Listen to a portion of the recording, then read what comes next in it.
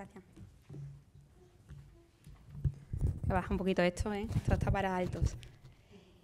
Eh, bueno, primero agradeceros que hayáis contado con Extremadura Avante para estas jornadas que se está, teniendo eh, en cuenta entre ayer y hoy y, aprovecho la, oportunidad para disculpar a Miguel Bernal, el director de Extremadura Avante, que le hubiesen mm, encantado estar aquí, pero le ha sido imposible por, temas de agenda. Mm, bueno, aquí vamos a ver eh, la presentación.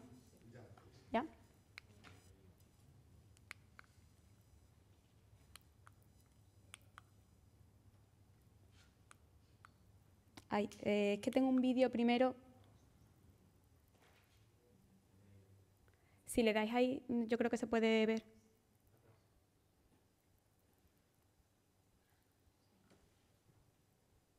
¿No?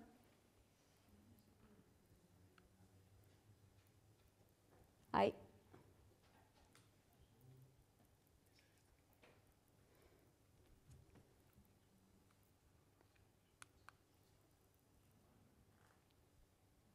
Si no lo dejamos, ¿eh? En la propia diapositiva creo que se podía pinchar y... Ahí.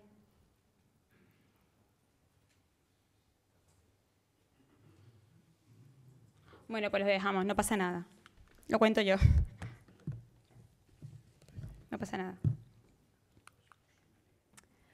Bueno, eh, Extremadura Avante se crea a través de la Ley 20 de 2010 del 28 de diciembre de concentración empresarial pública de la Comunidad Autónoma de Extremadura eh, y se constituyó Extremadura Avante SLU.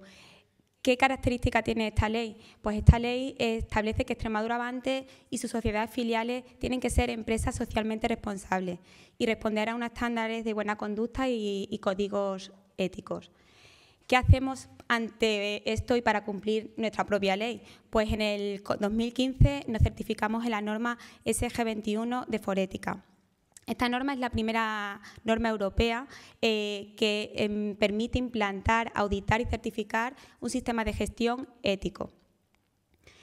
Eh, la norma, eh, en su amplitud, eh, tiene una correlación directa con los objetivos de desarrollo sostenible, porque los, requisitos que exige se alinean en mayor o menor medida con, estos objetivos, por lo que aquellas empresas que tenemos este sistema o estamos certificados em, contribuimos a la consecución de dichos objetivos. Además, esta norma a nosotros es un punto de inflexión porque hace que nos, diferenciemos. Somos la primera empresa extremeña certificado, bueno, la primera y la única empresa extremeña certificado en esta norma y luego somos la única empresa pública con una serie de estándares de responsabilidad social que nos reconoce la propia Junta de Extremadura.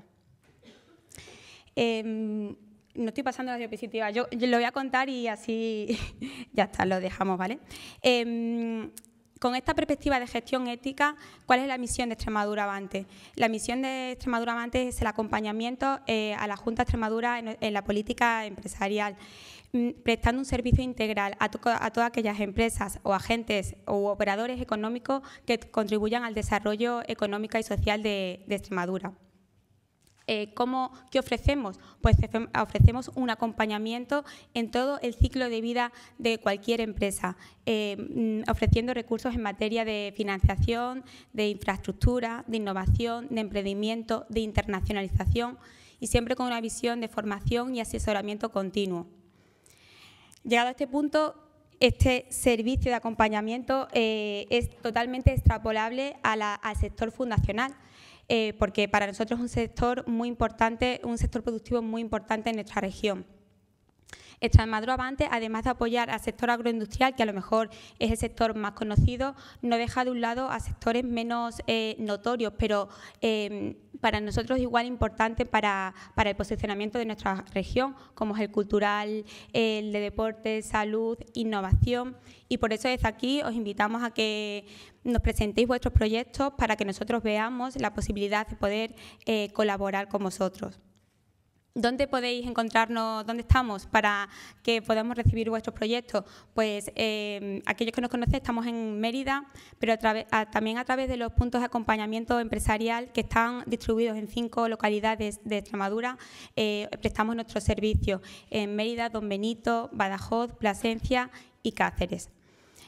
En este foro, lógicamente, no puede pasar por alto que, no mencionemos el punto de acompañamiento empresarial transfronterizo. En noviembre, creo que el del año pasado, el 2018, fue inaugurado y es un, es un punto que presta un servicio de apoyo y asesoramiento específico para aquellas empresas que quieran introducirse en el mercado portugués y, al contrario, también canaliza las demandas de las empresas portuguesas que quieren incorporarse al mercado español eh, y ubicarse en Extremadura como una región estratégica. Creo que es muy interesante y, puede aportar mucho. Bueno, pues para concluir, simplemente deciros que las administraciones públicas tienen un papel dinamizador y Extremadura Avante es un agente imprescindible para dinamizar el tejido empresarial extremeño, pero también es imprescindible para dinamizar, que seamos dinamizadores del ámbito social, apoyando aquellos proyectos e iniciativas que revierten un beneficio en nuestra sociedad, ya sea en el ámbito económico, social o medioambiental. Mm, desde aquí simplemente os invitamos a que nos conozcáis, que nosotros podamos conocer a vosotros y establecer aquellas sinergias y oportunidades para que podamos llevar a cabo y podamos concretar proyectos. Muchas gracias.